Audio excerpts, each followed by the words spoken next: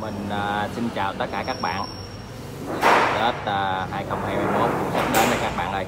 Mình à, xin chúc các bạn có thật nhiều sức khỏe hạnh phúc và làm ăn phát tài nha các bạn. Đây là quà Tết công ty mình à, tặng cho các cửa hàng và đại lý nha các bạn. Năm nào cũng vậy các bạn. Để tới cuối năm là công ty á.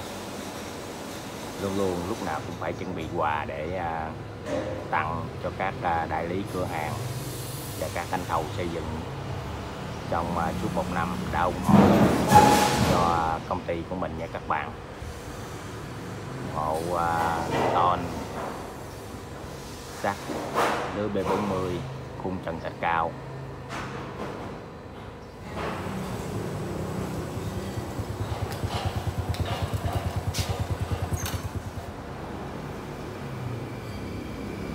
Đây là đợt đầu tiên nha các bạn.